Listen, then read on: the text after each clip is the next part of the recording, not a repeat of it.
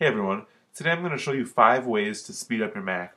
And while these might seem like minor settings when you first apply them, you'll be surprised at how much they actually improve the performance over time of your Mac. So the first one, and it's probably the most obvious, but it's occasionally overlooked, is you want a lot of space on your boot drive, at least 10%, ideally 20%. So if you look here, I have a 250 gigabyte hard drive.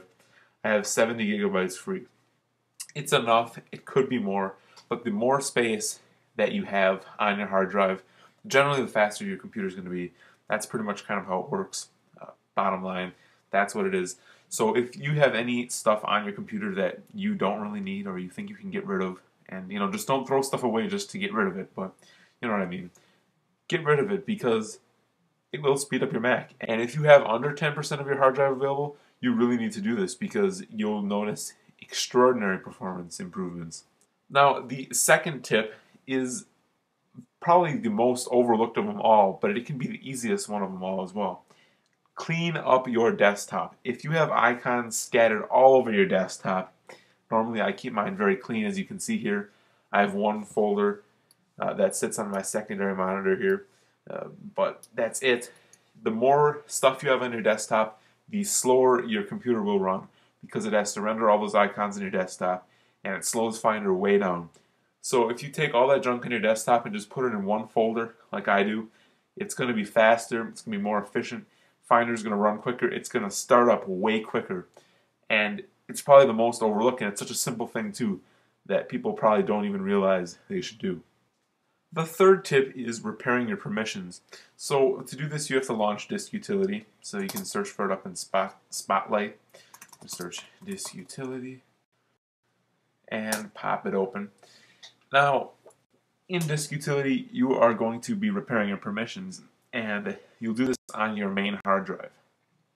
So I'm just going to select my hard drive here, Macintosh HD, and you can see right here I can repair my disk permissions. Now it's just one click and it'll repair. Now this process takes a while. You might want to leave your computer for a little while because you really don't really want to do much else while it's repairing the permissions. Um, first of all, it does slow it down while it's doing it. You might get the spinning beach ball cursor. Um, but secondly, it's just best to leave it alone while it's doing it. So, you know, budget a little bit of time if you're going to do this. Uh, but it's just a simple thing you might want to do every couple months. If there's any errors with the disk permissions, it'll just repair them all. And it should um, smooth out a lot of issues you might have with the OS. And another good tip if you're having problems with slow login times, um, if you head into System Preferences and you click on the Accounts tab, and then go under the Login Items tab in there, uh, you're going to see all your login items, and these are all the applications that run as soon as you log in. So when you type your password and hit enter, all these things start loading.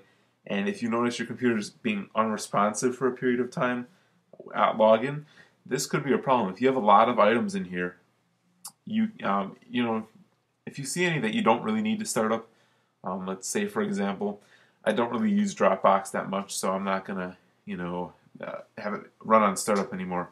I can just select it, hit the minus button, and it will not start up on login anymore. And the less things you have start up on login, the typically the quicker your computer is going to log in and be ready to work.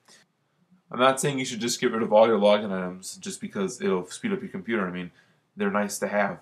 Uh, but if you really don't need ones running, why bother having them taking up RAM and processing power and things like that? Uh, it just doesn't really make sense. So they will build up over time if you install um, different menu bar applications and stuff and you just kind of forget about them. That stuff's all going to be uh, still running when you log in. And simply disabling these from running at login can really save you quite a bit of time on boot up. And speaking of taking extra RAM and processing power, Dashboard is one of the biggest, biggest resource hogs that you probably don't even realize that's on your system. Um, the more widgets you have, it takes up more RAM, and you know just having Dashboard running will dramatically slow down your computer um, under certain circumstances. So if you really like Dashboard, you can click the plus button down in the corner here, and maybe get rid of some of the widgets you don't use much. You know, I don't think I've ever done a Google search from Dashboard. I'll get rid of that and you know maybe I, I don't really use the calculator in there either uh, so I can just get rid of that but if you really never use dashboard at all and you want to get rid of it completely, of course you can always bring it back. But if you want to get rid of it, you can actually disable it so that when you press the dashboard button or click on the dashboard application icon, nothing will happen. And it's not gone forever. You can just type in a command and get it back. Uh, but I'll show you what to do to disable dashboard completely. So I'm going to go up into Spotlight and I'm going to search for terminal and open that up. And in the terminal window, I'm going to write a string of text and I'll have it spelled out at the bottom of the screen, uh, pretty big so you can read it, and I'll also uh, type it out here for you. So it is defaults space write space com dot apple dot dashboard oops space mcx dash disabled space minus boolean space and then all caps yes. And you're going to hit enter. And then you're going to type in kill all as one word space capital D O C K. Uh, so kill all Dock hit enter again. Your Dock's going to disappear for a minute and then it's going to come back and dashboard will be disabled. So if I quit terminal here and I press my dashboard button on the keyboard you can't see it but, but nothing's happening.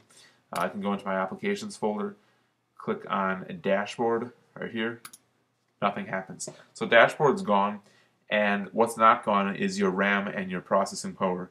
Uh, that's all given back to you uh, because all those widgets are not running in the background. Uh, taking up you know the valuable processing power you need to do actual work so those are five easy ways that you can really uh, speed up your Mac, and they may not seem like much, but they really add up. And I also think they're probably the most five overlooked, um, kind of most obvious, but people never think of them kind of ways uh, to speed up your Mac. And they really do help out, and I find them to be really helpful on my Mac. So I hope you'll find them helpful too. And I hope you found this video useful. Thank you for watching.